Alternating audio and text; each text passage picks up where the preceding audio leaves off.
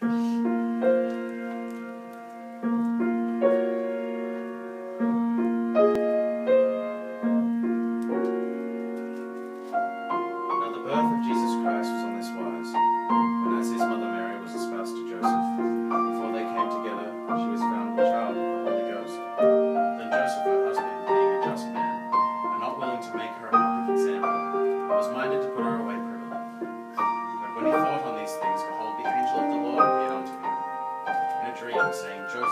thou son of David, fear not to take unto thee Mary thy wife, for that which is conceived in her is the Holy Ghost.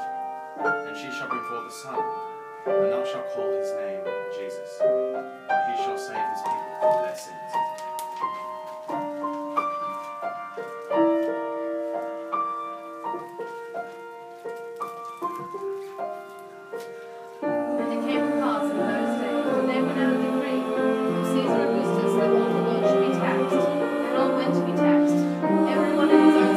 Just